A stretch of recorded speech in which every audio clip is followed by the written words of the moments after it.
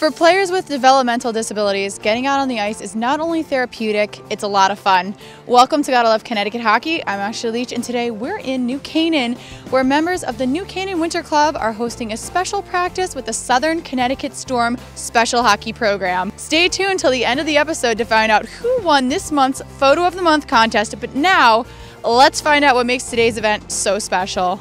How did you learn about this program? My son was in the Greenwich Public School System and they had sent home a weekly flyer. And there was a little note that there would be a hockey program starting uh, for children with special needs. We had to get my son involved. Why did you start this organization? I, like every other hockey mom, had a basement full of outgrown equipment. I perused the USA Hockey website and found American Special Hockey. So I called the president, Mike Hickey. Mike asked me, why don't you start a team up there? And I'm going, oh no, I don't know anything about this. I don't I have a child with a disability. And he said to me, Deb, if you did, you probably wouldn't have time to do this. Can you tell me a little bit about today's event? Today is an annual event. We get the kids to skate outdoors with some of the players from the New Canaan Winter Club. And it's just sort of a fun get together, outdoor skate. We bill it as our winter classic, and the kids love it. It's going to be really cold outside, but I mean, it's worth it. For the first four years, we doubled every year. And we've stabled out a little bit in southern Connecticut at about between 40 and 50 kids. We're now in our seventh season and we're going strong. When you meet them and when you see them, you won't be able to tell that that they're a disabled team. They have come so far, it brings tears to my eyes. What's the best part about playing on the ice? Seeing my teammates. They're pretty nice. Have you made a lot of friends playing hockey?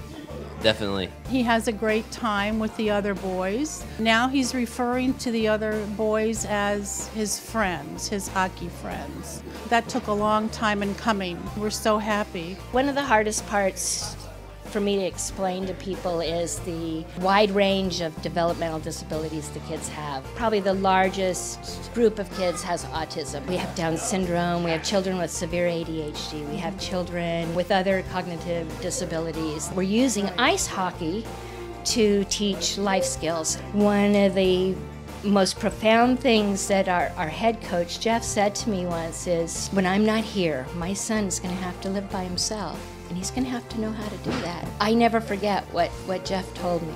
I never forget that. I think the biggest thing that I've seen in the last four or five years has been the confidence it gives them and it gives them some independence. A lot of life skills that these kids learn, like standing in line and doing drills over and over again, sharing, competition, working for coaches, working for mentors. What do you love about hockey?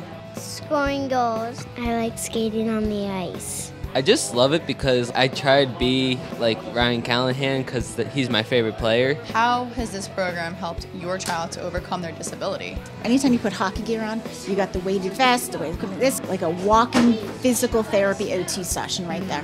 So it's helped him amazingly with his balance and his grace, things like that. It's helped him relate to other children Yes. much better, and it helped him to learn how to control himself because he was very impulsive.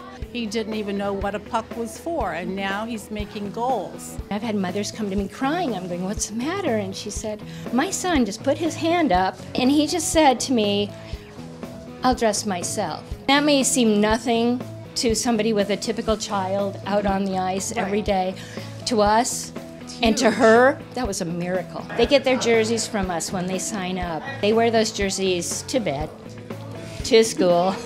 They don't get washed for a few weeks. They just they wear them everywhere. It's a badge of honor for them. It's their first team. What would you say to parents or other uh, teams thinking about getting involved with the Connecticut Storm? It's a win-win for everybody, right? You know, you take athletics, you take fun. It's it's so great for those kids. You know, it brings out certain aspects of them that they wouldn't get anywhere else. Seeing these kids out there enjoying ice skating and doing events that they normally wouldn't have the opportunity to do. So I think all, all parents should embrace it. This program has been more than I ever thought it would be.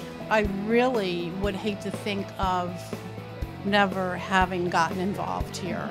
How do you fund your organization and how can people that want to donate get involved? We have our nonprofit status. We do a yearly Sound Tiger game where we try to create awareness, let people know where we are. The Hardin brothers do a golf tournament every year for us. If people want to donate money to keep us going and to help us continue to enrich these children's lives, they can go to our website,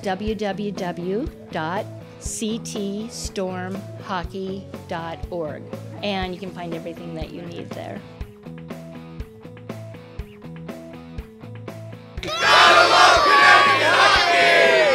Congratulations to Jason Romano, the winner of our January Photo of the Month contest with his photo, Celebration.